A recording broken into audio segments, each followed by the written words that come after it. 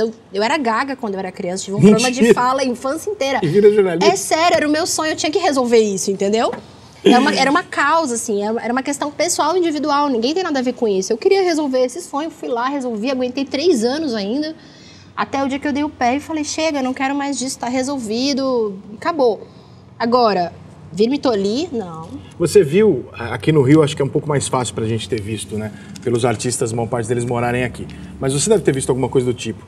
É, durante a pandemia, eu nunca escondi de ninguém nem fiz discursinho. No uhum. dia que eu peguei Covid, eu falei, senhores, estou indo pra rua e vou pra pagode, vou pra casa de um caralho, porque segundo a própria saúde eu estou imune por alguns meses. Perfeito. Portanto, eu vou curtir esses meses que eu... Então eu peguei em agosto e dali até o final do ano eu fui, mas fui pra rua sem dó.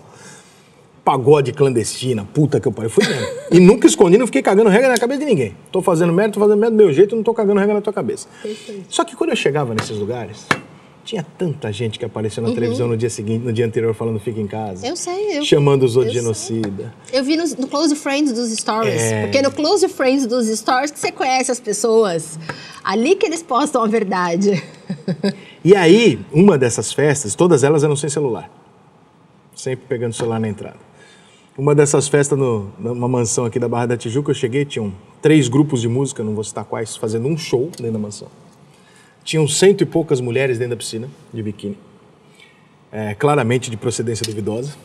É, mais umas 200 pessoas, bifeu, cara, no meio da pandemia. E diversas celebridades, daquelas que estavam na televisão fazendo campanha, xingando disso, daquilo, não sei o quê, fica em casa, o caralho, tal, não sei o quê. E aquilo, evidentemente, chegou na redação de alguns lugares. E misteriosamente aquilo foi abafado. Claro. Você viu isso acontecer lá dentro, por exemplo, de chegar também durante a pandemia? Puta que eu parei, fudeu, um artista nosso fez isso, um jornalista. Não, peraí, segura. Tá, você viu isso? Na pandemia eu já, já era independente. Então uhum. eu estava mais enviando as denúncias do que de fato vendo o que estava acontecendo na redação.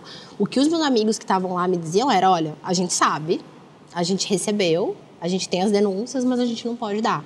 Mas assim, pra você ter uma ideia, Rica, Rica eu saí de lá em 2000, assim, eu saí mesmo de jornalismo, acabou o jornalismo, eu vou empreender, 2018. Até hoje eu recebo convite para voltar para o interior para ser repórter. Quer dizer, depois de viralizar, acho que eu não vou é, receber mais. É.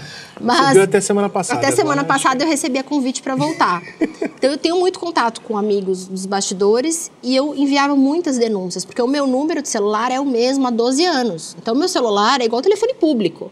Eu recebo denúncia, assessoria de imprensa, órgão público, manda denúncia todo dia para mim e eles não podiam publicar. Então eu recebi o inverso, assim, eu, vi, eu tava tentando, né, enfiar, colocar a matéria, mas não emplacava.